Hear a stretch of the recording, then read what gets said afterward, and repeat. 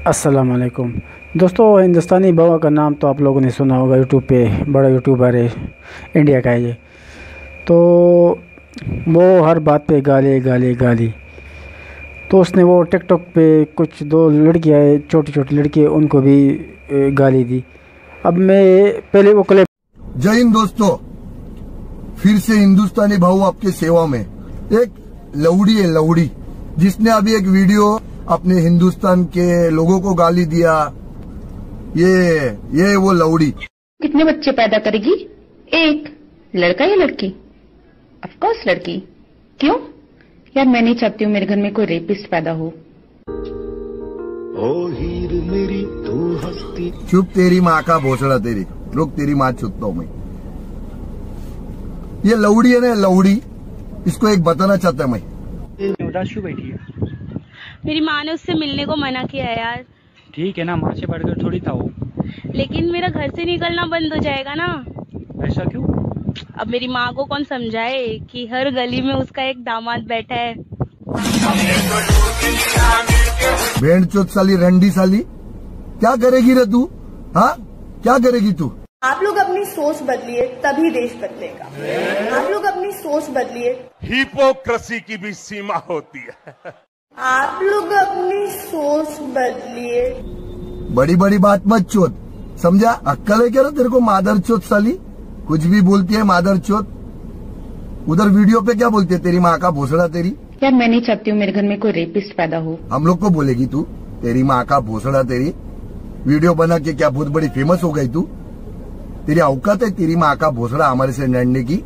आप लोग अपनी सोच बदलिए। सोचना पड़ता है रे तो दोस्तों, ये था हिंदुस्तानी बवा। इसके आप जितनी वीडियो देखो, ये गाली पे गाली गाली पे गाली। तो दोस्तों, ये था हिंदुस्तानी बवा। इसके आप जितनी वीडियो देखो, ये गाली पे गाली गाली पे गाली। अब मैंने सोचा मैं इस की वीडियो पे रिएक्शन करूँ।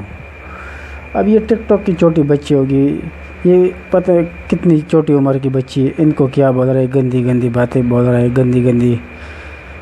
आ, हर किसी को ये गाली देता है। ना लड़की को देखता है ना यानी उम्र से बड़े भी उनको भी गाली देता है। पाकिस्तान को और इस्लाम को ये हिंदुस्तानी बउआ गाली देता है।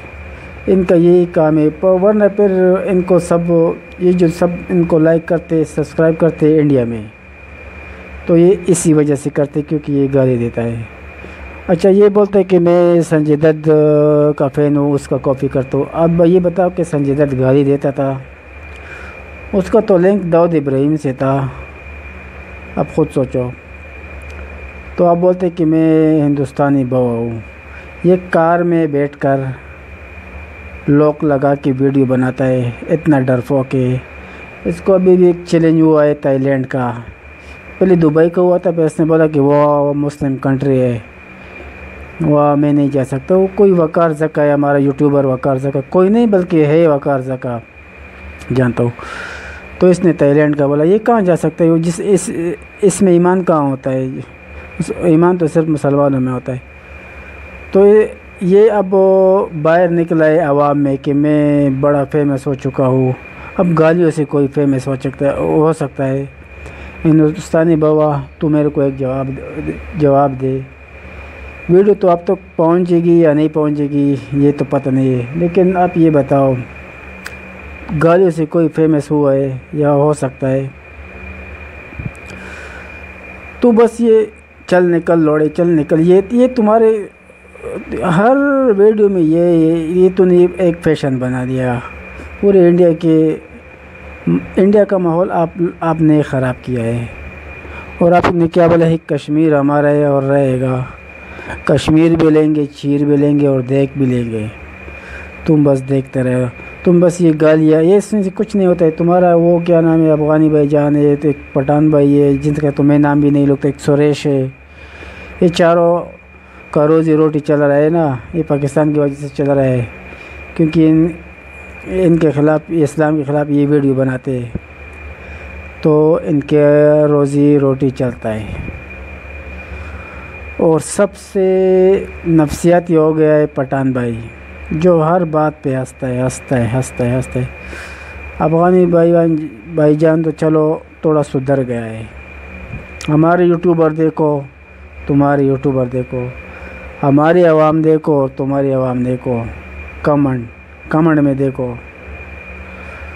और सुरेश को